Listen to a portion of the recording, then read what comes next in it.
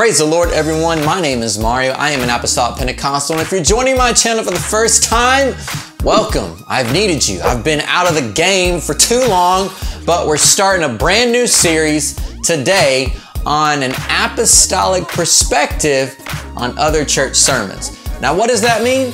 Well, you've probably seen a video like this before where a YouTuber comments on like a viral video or a funny video that happened that week. Okay, I'm gonna do the exact same thing, but watch other church sermons from other Christian denominations and kind of put an apostolic perspective on what I think of the sermon and is it telling the full truth or is it only telling half the truth or is it telling no truth at all? Now, before I get started, I want to let you all know I'm not criticizing any of these sermons that I'm watching. I'm just operating according to Second Timothy 3:16 which says, "All scripture is given by inspiration of God and is profitable for doctrine, for reproof, for correction, for instruction in righteousness." So, there we see right there, the Bible can be used for reproof or correction for sound doctrine. So the first video that we're going to be watching uh, is by a pastor named Francis Chan, very popular on YouTube, and the title is Simple Truth About Baptism. Now, if you know anything about an apostolic Pentecostal, we're very passionate about being baptized in Jesus' name and being baptized by the Holy Ghost. But with no further ado, let's run this intro and we'll get started.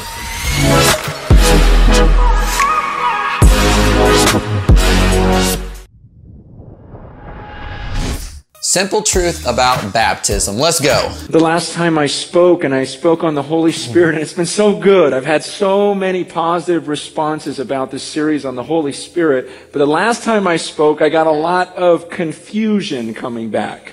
A lot of people hmm. were confused after my last message over one issue. When I preached on Acts 2:38, Woo! Okay, let's go.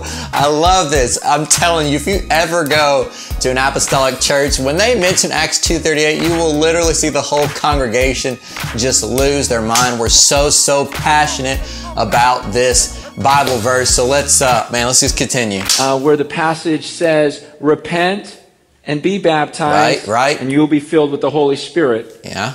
Absolutely. I've had all sorts of emails and phone calls and letters asking, okay, well, it sounded like you were saying I have to repent and then be baptized and then receive the Holy Spirit? Absolutely. And Peter said unto them, Repent and be baptized, every one of you, in the name of Jesus Christ for the remission of sins, and you shall receive the gift of the Holy Ghost. This was the very first sermon ever preached in the Bible after Jesus ascended back up into heaven. So, yes, do what the apostles did. And then other people were asking, well, can I be a Christian without being baptized? Mm-mm. Others are saying, can I be a Christian without repenting? Absolutely not. Can I be a Christian without the Holy Spirit? Whoo! And when does the Holy Spirit actually come in? If I just repent and do I get the Holy Spirit right then without being baptized? And all these questions came in, and I, I want to answer them all with a question back at you. Now, a lot of the modern day churches don't believe in the Holy Spirit, but the Holy Spirit is very much still alive. It's still moving into the church today because it came down in Acts 2 4 on the day of Pentecost when there was a mighty rushing wind and they started speaking in other tongues as this Holy Spirit gave utterance to them. And remember, this was a promise Jesus gave that He said, Wait in Jerusalem when He's talking to the apostles until I send out my Holy Spirit in my name, and thou will be the sign for you to go out and preach uh, the rest of the gospel uh, that I have taught unto you. Why do you ask? Hmm. Because they didn't ask. They, they asked one question. When they heard the message, when they heard the gospel message, when they heard that Jesus died on the cross for their sins, that he paid the penalty for their sins, he heard that he was buried and he rose from the grave, they asked a different question. They asked, what do we need to do? Wow, that's such, such a good point right there. So many of the church just questions why baptism is necessary, why repentance is necessary, why they have to receive the Holy Spirit. Notice what the apostles did. They didn't question whatsoever. They just simply asked, what shall we do next? And then Acts 2.38 happens. What do we need to do? Peter's response was, well, you need to repent, be baptized, and be filled with the Holy Spirit. Mm-hmm. And you know what? They didn't ask any questions after that. What they did was they repented, got baptized, and were filled with the Holy Spirit. Now, one thing I'm noticing as I'm watching this, he's not saying baptize in Jesus' name. That's the most important part, is you got to be baptized by immersion in water into Jesus' name. Jesus said, anything you do, do it in my name. So if you're going to pray over your food, in Jesus' name. If you're to pray over the health of your family, why not get baptized in Jesus' name? Come on now, Jesus' name. I know, it's a crazy response, isn't it? They just did it. But we would rather ask a bunch of questions and we would rather philosophize and speculate and go, well, yeah, but technically, can't you really, I mean, did they really have to get baptized? I mean, I mean, and when, when did the Holy Spirit come in? Was it when they got under the water? Was that when he came in or when they come out? Or was he already in them? Or did it take the Holy Spirit to get them to repent anyways in the first place? Or, or what if they were on their way down and they trip? You know, what, what, what about... Okay, he's, uh, I'm not really kind of sure where he's going with this point because baptism in Jesus' name with water and baptism of the Holy Spirit are two separate events. Okay? Notice in Acts 2.38, it talks about repent, be baptized in Jesus' name, and then you shall receive the gift of the Holy Ghost. Okay, now as you go through the book of Acts, you kind of see some scenarios where people have received the gift of the Holy Ghost, then they just need to get baptized in Jesus' name, and some got baptized in Jesus' name, then received the gift of the Holy Ghost. The main thing to understand is that these two events are separate. They do not happen at the same time. And very rarely do they happen at the same time. If they were to happen at the same time, it would be someone being baptized in Jesus' name, raised up in water, then receiving the gift of the Holy Ghost by the external sign of them speaking in an unknown tongue. About this, what about that? You guys, they just did it. I, I don't understand the questions. I don't understand where the questions are coming from because my seven year old, my seven year old was in service and she understood. My seven year old was in service that Saturday night, comes home crying and says, Dad, I want to be baptized. I want the Holy Spirit Beautiful. in me. I want to follow Jesus. Beautiful. And uh, I go, Great, baby. That's great. So, you know what you need to do? Come back tomorrow morning and get baptized. And so she did. And she's up here crying and, and asking Jesus, you know, asking for the Holy Spirit to come into her life to help her live the way that she My seven year old got it. She didn't come home and say, well, okay, Dad, explain this to me.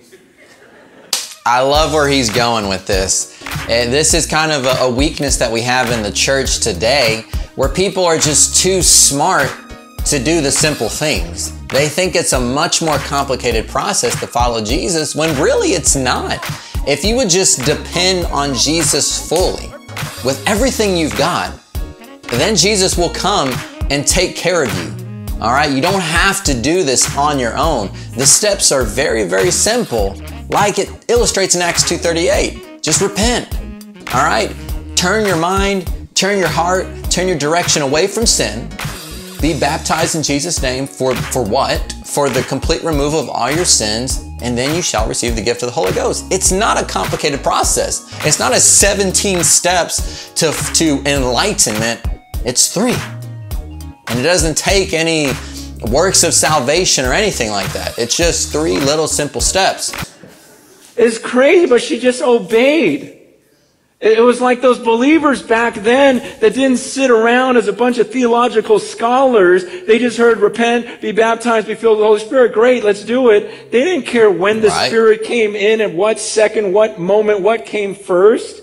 They just did it. And what's crazy to me is that we have gotten so off track in America and the way we talk about the Bible Mm-hmm. that nowadays people say you can be a Christian without repenting, being baptized, or having the Holy Spirit. Absolutely, absolutely not. That's the one thing that I want to use this video for is that if you are involved in a congregation that does teach, all right, that you don't have to repent, that you don't have to be baptized in Jesus' name, that you don't have to receive the gift of the Holy Ghost, I'm telling you right now, that is not sound doctrine. That is nothing according to the Bible. I mean, how many gospel presentations do you hear where people say, well, just walk down an aisle, hmm. pray a prayer, receive Jesus? Okay, where do you see that in the Bible, though? Absolutely. I mean, I did it. I did it as a kid because that's what I was told, and I was in the system, and I felt just absolutely fine with it until I started reading the scriptures. And it never sat well with me. Where does it talk about this prayer for receiving? Beautiful, uh, Francis Chan. You are you are hitting it on the nail right here because this is taught in many churches today.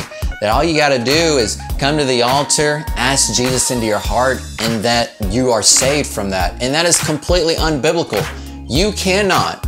All right, if you're watching this video, in in the comments, all right, find me the scripture that does say this. That if you say this prayer, you will be saved.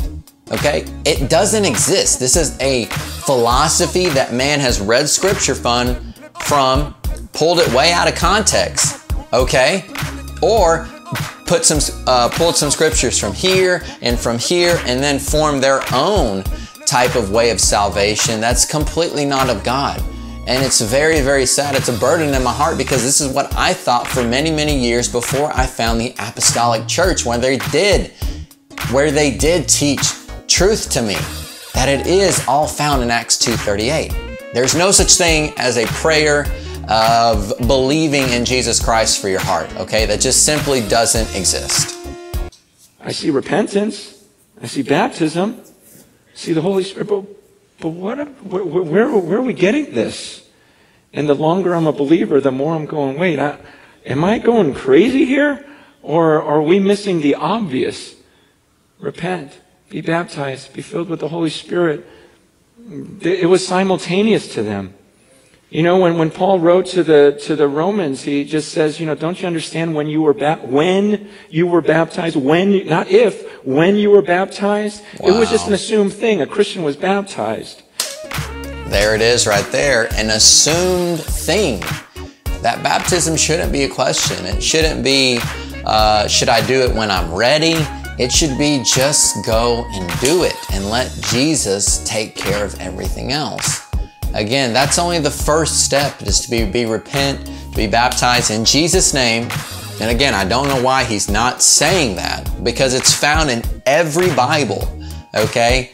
In any version, all right? You can go to the Holy Bible app, you can check for yourself, but it does say be baptized in Jesus' name. Very, very clear, and you shall receive the gift of the Holy Ghost. It's just that simple. It's just that simple. So uh, I think I'm going to cut it right here. I think I've seen enough of this sermon. Um, beautiful uh, job, though. I think this is going to be a great video. I'm very curious to kind of see how you all are going to respond to this. So if you are not apostolic, I'm talking to my Baptist friends, my Methodist friends, my Presbyterian friends, my Mormons, my Seventh day Adventists. I'm talking to all you all. I want to hear your input uh, down below from uh, from an other denomination to an apostolic uh, believer on is baptism really necessary for salvation. So thank you all so much. I love you all. Thank you all for watching. My name is Brother Mario. God bless you. Hey, I hope you all enjoyed that. Don't forget to like, subscribe, leave a comment down below. Definitely want to know what you all got out of it. But most importantly, share this message. Share it with your best friend. Put it on your Facebook, slap it on your Instagram. Doesn't even matter. We're trying to get this message out. And hey, don't let your blessing streak in. Check out some of these other videos we got here. Hey, love you all so much. Gotta go. Bye bye.